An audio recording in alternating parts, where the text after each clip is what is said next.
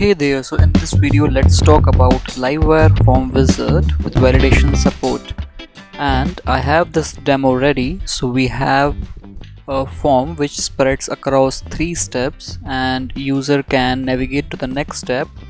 The, let's fill in some information. User can go to the next step. We also have the validation support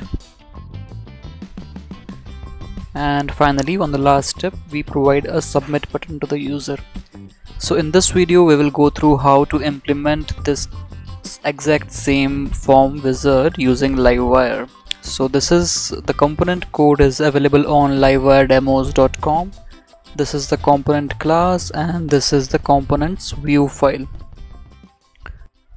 I already have the component class and the view file ready in my project. So this is the component class and this is the component view file.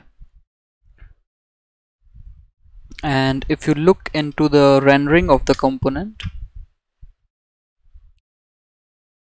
the component name is livewire form wizard. And if we see the output on the local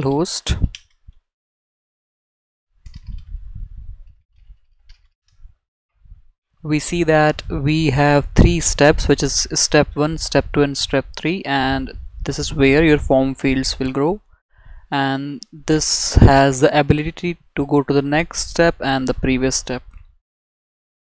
If we look into the component this has the necessary methods for the user to go to the next step to submit it and to validate it. And if we look into the view file the view file is basically divided into the three parts. This one is the step indicator which is basically the navigation items on the top which indicates which step user is on. The second part is the step content which basically contains the content of the step. So this is where your form fields will go and depending on which step user is on so if user is on step 1 whatever content you want to show will go here and if user is on step 2 the content you want to show will go here. Third part of the view file is the step buttons which is basically used to navigate from one step to another to the previous step and to submit the form. Now this is the skeleton of Livewire form wizard and we can extend this to create our own form wizards. You are free to modify the values in here as well to change the form but it is advisable to extend this one so that the core functionality remains in this one and you can make many form wizards using this simple component class. Let's go ahead and do that. So for now we will try to build a user inquiry form and let's create a livewire component. Php artisan livewire make user inquiry form. So this will generate two class two files. One is the PHP class and another one is the view file. And if we go to the PHP class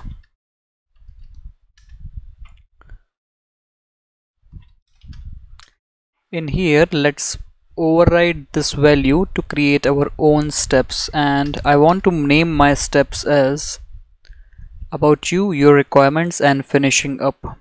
And now if we go to the user inquiry form blade file let's just copy the skeleton that we have been provided by livewire form wizard and let's just paste it here. And we will render this component in the test file. So instead of this thing I have user inquiry form. This is my form wizard which I am looking to work on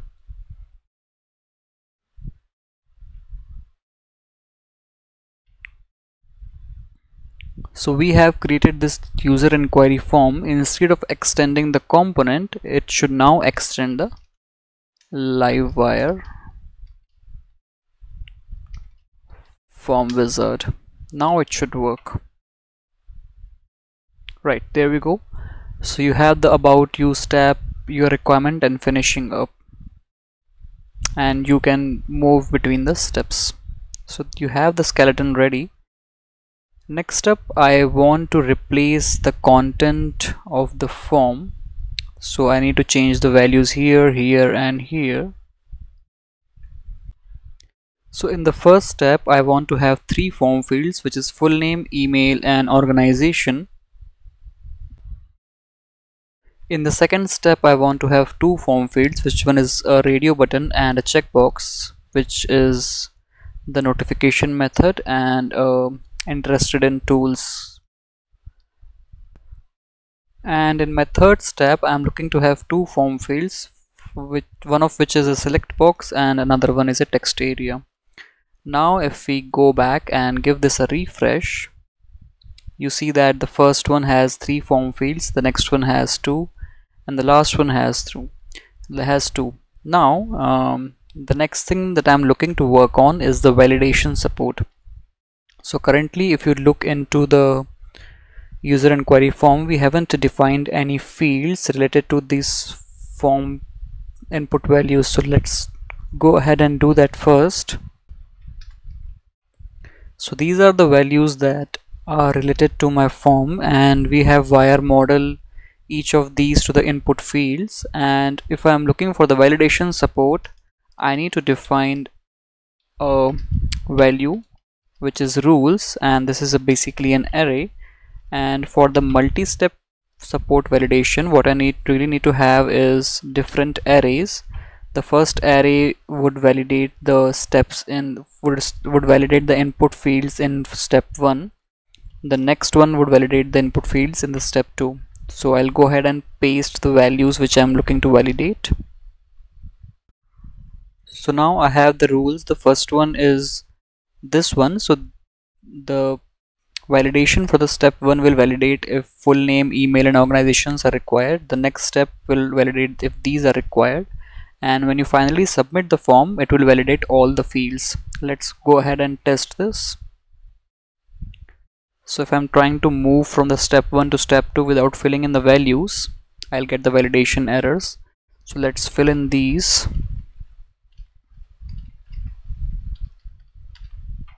and we can move to the next step. You are also allowed to move to the next step or previous step using these tabs indicators. And if I try to do that from here it also validates if we have successfully filled in the form.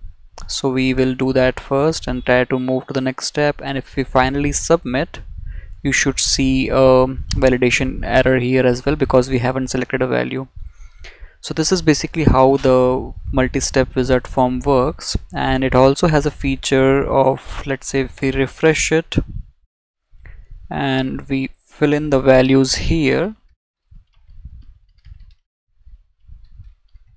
And if user is trying to go to the last step without moving to the next step it will basically ask you to fill in the second step before moving on to the third step.